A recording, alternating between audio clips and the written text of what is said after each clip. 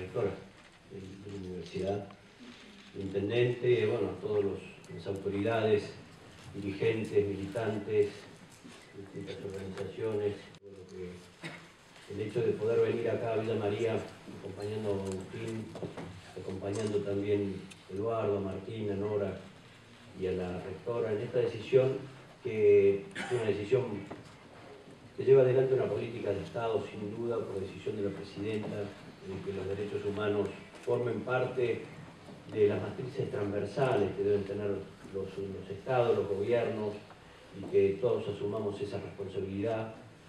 Es una tarea que, por cierto, debe desandar el camino del horror que es el terrorismo de Estado. ¿Y por qué debe, debe desandarlo? Porque estas actas, como bien dice, eran secretas, reservadas, eran justamente la característica más intrínseca que tienen las estructuras políticas y jurídicas de los terrorismos de Estado.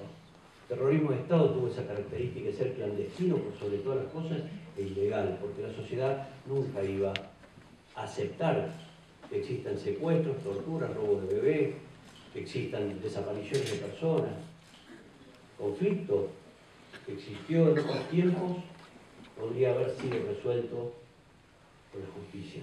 Lo dijo, la causa 13 y terminó concluyendo así juicio a las juntas militares.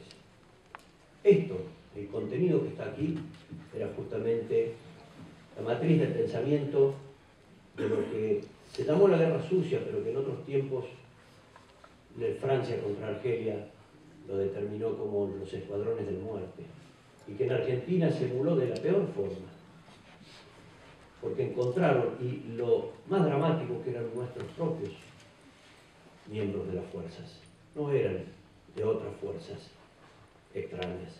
Entonces desandar este camino de clandestinidad, de horror, de terror que sembraron durante años para poder eh, instalar un modelo político, económico, social, ha sido algo que le llevó mucho tiempo a la sociedad, 30 años de democracia, pero no le llevó quizás tanto a una persona como ha sido el entonces presidente Néstor Carlos Kirchner, de escuchar al pueblo argentino en sus reclamos, sus reivindicaciones, incorporarlo como política de Estado, marcando las bisagras. Ha sido más bien una decisión muy corajuda. Y se lo digo porque en ese momento yo era abogado de los juicios en Córdoba, era abogado de la organización Hijos y Familiares, y no era fácil tomar esa decisión como no era fácil ponerlo Eduardo Luis Valde, quien me precedió en el cargo como secretario de Derechos Humanos de la Nación, porque fue un dirigente que representó y expresó la vocación, la voluntad de transformación y también lo que fue tratar de luego poder reparar ese camino del horror. Yo solamente quería plantearle algunos aspectos de que las huellas que dejó el terrorismo de Estado están en todos lados. Entonces, la vocación democrática y el espíritu de la lucha por la vida que tenemos en estos tiempos deben estar en todos lados. Por eso, acompañarlo a Agustín y acompañar a todos aquellos que asumen esta responsabilidad con vocación democrática es la tarea que realmente debemos destacar y debemos realizarlo como militantes. Porque la discusión sobre aquel pasado es una discusión del presente.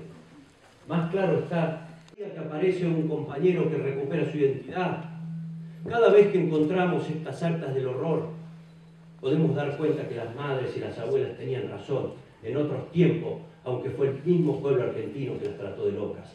Y hoy las aplauden. Y ese es un logro de la democracia. Ese es un logro de 30 años de aprendizaje de un pueblo que hoy lidera, por suerte, por Dios, al menos la región y el mundo en cómo resolvimos los conflictos. Quiero decirles que estos debates son debates que los tenemos que dar. Estas acciones van a seguramente darnos la posibilidad que discutamos todo esto. Pero la evidencia del horror está, las huellas están. Nuestros familiares no van a volver, porque ellos decidieron en dónde estén. Nuestros hermanos tienen que volver al lado de sus familias, pero el Estado y las huellas del Estado, sí está nosotros que las recuperemos. Gracias Agustín, gracias Martín, gracias Eduardo.